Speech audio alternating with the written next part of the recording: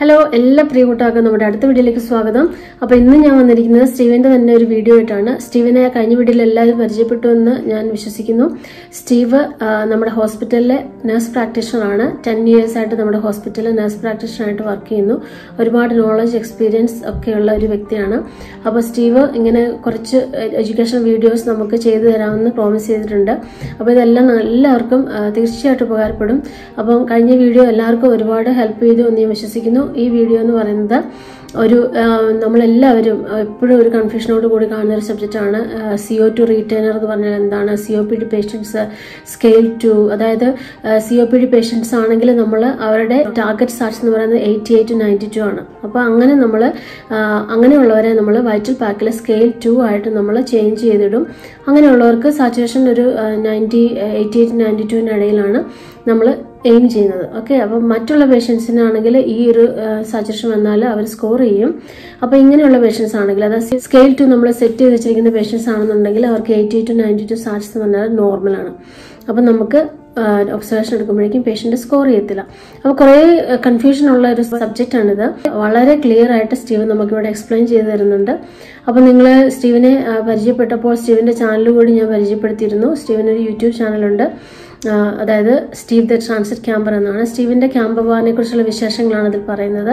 അതുകൂടി നിങ്ങളൊന്ന് സബ്സ്ക്രൈബ് ചെയ്യുക. ഡ്രസ്സിംഗ് ടിപ്സ് കൂടി കൂടുതൽ സബ്സ്ക്രൈബ് ചെയ്യുക. ഇന്ന് സ്റ്റീവിന് പറയാനുള്ളത് നമുക്ക് എന്താണെന്ന് കേൾക്കാം. നിങ്ങൾക്ക് തീർച്ചയായിട്ടും ഉപകാരപ്പെടും. അത് കേട്ടപ്പോൾ എനിക്ക് വളരെയധികം കുറേ ഡൗട്ട്സ് എനിക്ക് മാറിക്കിട്ടി. അതായത് കാർബൺ ഡൈ ഓക്സൈഡ് റീറ്റൈൻ ചെയ്യുക എന്ന് പറഞ്ഞാൽ എന്താണ്? പിന്നെ അവരെ നമ്മൾ എങ്ങനെയാണ് ഐഡന്റിഫൈ ചെയ്യുന്നത്? അതായത് എ ബി ജി എടുത്തിട്ട് അതിന്റെ ആ ഒരു analysis A B G analysis ഒക്കെ ഇതിനകത്ത് സ്റ്റീവ് എക്സ്പ്ലെയിൻ ചെയ്യുന്നുണ്ട്. നമുക്ക് തീർച്ചയായിട്ടും ഉപകാരപ്പെടും നമുക്ക് വീഡിയോ കണ്ടിട്ട് തിരിച്ചു വരാം Good morning, good afternoon, good evening, depending on where you're watching and what time it is.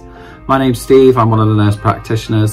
Bindu's asked me to do another video on COPD, arterial blood gas analysis, and vital pack, and why we aim for saturations of 88 to 92. So stick with me, let's go through it. So just before we do that, for any of you that liked and subscribed to my YouTube channel, Steve the Transit Camper, just wanted to say thanks very much and it's really appreciated. Even if you went along and had a look and it wasn't for you, that's great. That's what it's all about. Okay, so when we talk about CO2 and COPD, we talk about CO2 retaining. CO2 obviously means carbon dioxide. So let's just have a look at what the policy says around observations. If a patient presents with a history of severe respiratory disease and is known or thought likely to be a CO2 retainer, the nurse must ask a doctor to confirm the desired oxygen saturation range and whether to use the scale 2 if appropriate on VitalPAC. So scale 2 is really important because that can knock 3 points off your score straight away. So a patient that would aim for SATs of 88 to 92 would score 3 but if they're on scale 2 they'd score nothing because that's normal and that's the targets we want. Okay, so how are we going to find out if a patient is retaining CO2, carbon dioxide? Well, the one method that we can use is to do an arterial blood gas, which is an ABG. This is performed by practitioners, doctors, and anyone that's been trained in that procedure. So let's look at the typical values we'd get from an arterial blood gas. So a little bit about the procedure first. It involves getting a needle and going directly into the radial artery. First of all, you must check for good circulation and that's with an Allen's test. You don't really need to know about that. And once you've obtained your sample and you've explained to the patient how painful it's going to be prior to the test, then you can take your sample to the laboratory where you can get it tested or you can test it yourself on one of our ABG machines. So there are six values in the blood gas that we're going to look at. We're going to look at the pH, we're going to look at the PO2, which is the partial pressure of oxygen, the PCO2, which is the partial pressure of carbon dioxide. We're going to look at the saturations, we're going to look at the base excess, and we're going to look at the bicarbonate, otherwise shown as HCO3. So first we'll look at pH and a normal pH is between 735 and 7.45. So 7.35 is the acidic side, so anything less than 7.35 indicates an acidosis, and 7.45 is the alkalosis side. Anything above that indicates an alkalosis. Next is the PO2, and that can be normally between 10 and 12. It obviously depends on which books you're reading at this point because all books come up with different values, but they largely range between 10 and 12. Next is CO2, carbon dioxide, and that will be between 4 and 6. Again, other books might tell you slightly different, but that's a good average range to remember. So then we talk about base excess, which is plus 2 to minus 2. We also talk about the saturations, which as we know would be over 96, or in our COPD patients, 88 to 92 if they're retainers. And we also talk about bicarbonate or HCO3, which would be 22 to 26. So what would you expect the values in a COPD patient to be? COPD meaning chronic obstructive pulmonary disease, usually caused from inflammation of long-term exposure to irritants such as smoking. So the values that we'd expect to see in a COPD patient on a blood gas may be a normal pH because their body has compensated for any of the problems that they've got. A raised CO2, so that would be higher than 6, the normal range 4 to 6, so we may see a value as high as 10, 11, 12. We would see a low PO2 because they don't tend to need as much oxygen to function. So we may see values as low as 8, uh, 7, not much lower than that, but around those sort of uh, parameters. Then we would look at bicarbonate and we would expect to see that raised. So 22 to 26 would be normal.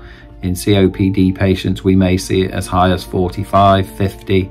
And this is because the kidneys pump out alkaline, which gets rid of the acidosis and compensates for the acid, which is CO2. So always remember that golden rule, CO2 is an acid.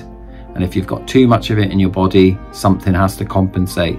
So the kidneys compensate by pumping out bicarbonate, HCO3, in order to bring your pH back up to where it should be.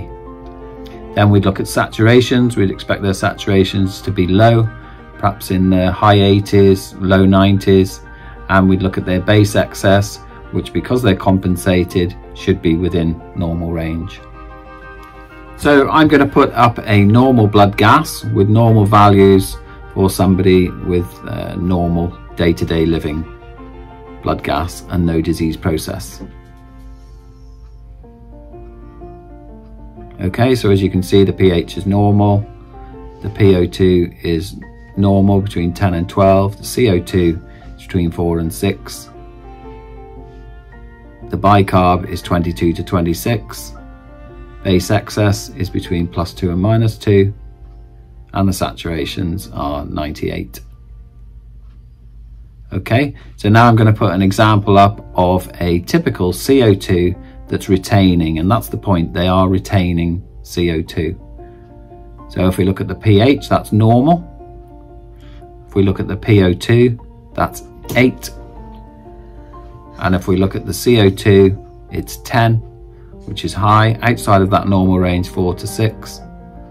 We look at the bicarbonate, it's 35. And we look at the base excess, and that's normal. So typically we can look at this blood gas, and if we know a little bit about the patient's history, we can say this patient is a CO2 retainer that's compensated metabolically by raising the bicarb. So this is a healthy COPD patient and a normal blood gas. So on that ABG of a COPD patient, typically we see a raised bicarbonate and a raised CO2, each one on that seesaw compensating for the other one. And that is it really, essentially, that's what you're looking for before you can turn to your VitalPAC observations and say, I've got a COPD patient, therefore I can put them on scale 2. And by putting them on scale 2, we can aim for saturations of 88 to 92 and we can take three off their EWS score, which is vital really for uh, monitoring those respiratory patients and for not having to escalate them when it's completely unnecessary. Okay, so going on from that, why do COPD patients become acidotic if their kidneys can compensate by producing bicarbonate? So the answer to that is very simple. So when a COPD patient gets a chest infection or an infection in their body of any part of their body, could be skin, they will develop a systemic infection or they may develop a systemic infection. This may then cause an acute kidney injury. So the kidneys become affected by the systemic infection and they can no longer produce the bicarbonate, the HCO3, which is required to compensate their high CO2. So the CO2 still remains high, but the kidneys stop functioning properly, so they no longer produce that bicarb. So if the CO2 is high, that's lots of acid in the body. The bicarb remains low because the kidneys are no longer functioning properly. So therefore they drop their pH and they become acidotic. Okay, so what can we do for those patients that are retaining too much CO2 and their kidneys are failing because they've got an acute kidney injury? There's something we call non-invasive ventilation or NIV. NIV works by using pressures. So when you breathe in, you get a positive inspiratory pressure, which will make you take a big breath of air.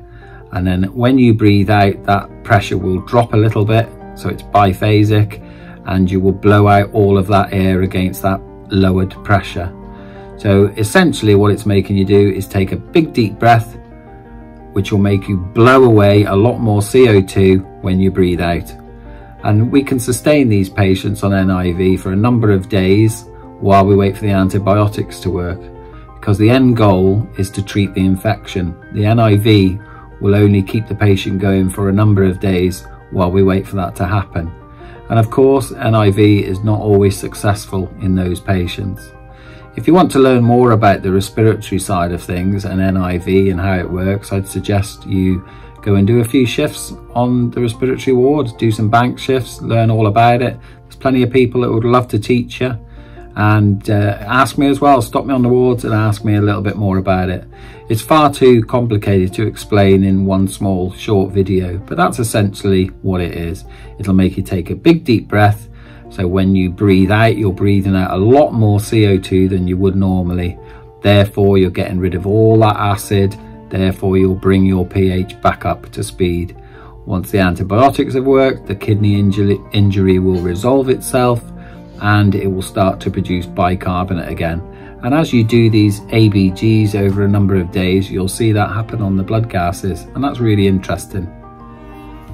So that is a very simple explanation of how the pH and ABGs work.